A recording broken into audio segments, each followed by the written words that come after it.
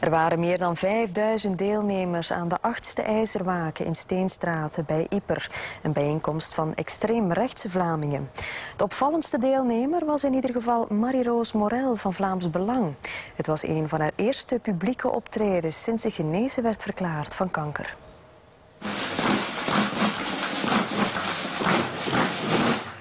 Op de IJzerwaken klinkt het allemaal wat harder dan op de traditionele ijzerbedevaart van Diksmuiden.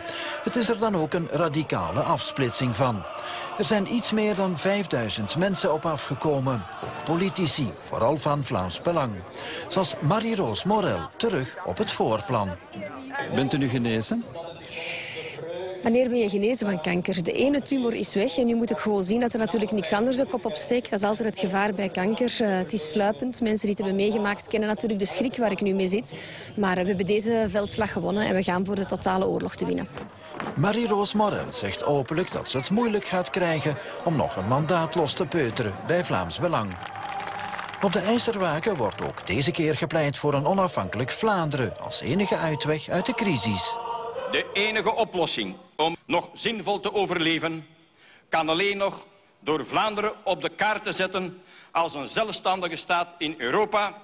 En de enige manier om Vlaanderen op de kaart te zetten... is door België ervan af te schoppen.